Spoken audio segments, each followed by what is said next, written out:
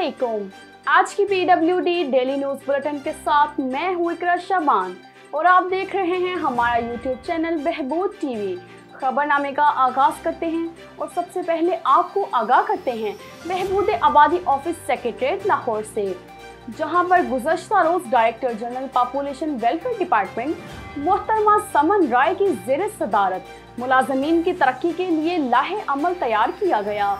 इस हवाले से मुलाहिजा कीजिए ये रिपोर्ट। गुजशत रोज बहबूद आबादी ऑफ़िस सेक्रेटरीट लाहौर में एक अहम मीटिंग का इनका हुआ। मीटिंग की सदारत director general population welfare department मोहतरमा समन राय ने की। इस अहम मीटिंग में डायरेक्टर जनरल ने अपनी टीम के हमरा, मुलाजमीन की तरक्की के लिए लाहे अमल पर तबादला ख्याल किया। डायरेक्टर जनरल महकमा बहबूद आबादी पंजाब मुलाजमीन की तरक्की, खुशहाली और इनके लिए बेहतर वर्किंग इन्वायरमेंट का अज़म रखती हैं। इनका कहना है कि मुलाजमीन किसी भी अदारे का सरमाया होते हैं। इनकी तरक्की और खुशहाली से इदारे मज़बूत होते हैं।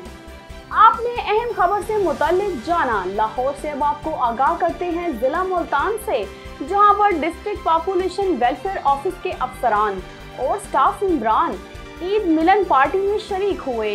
इस हवाले से मुलायसा कीजिए ये रिपोर्ट गुजशत रोज पॉपुलेशन वेलफेयर ऑफ़िस मुल्तान के जेर तमाम ईद मिलन पार्टी का इनका किया गया।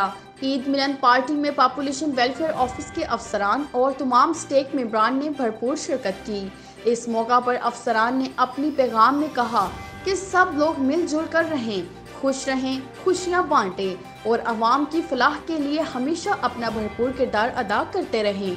आपने जानी आज की अहम तरीन खबरें। महकमा बहबूद आबादी पंजाब के मुतालिक दीगर खबरों को जानने के लिए देखते रहें हमारा यूट्यूब चैनल बहबूद टीवी। मुझे दें इजाज़त, आपसे मुलाकात होती है अगले बुलेटिन में। तब तक के लिए अल्लाह हाफिज़।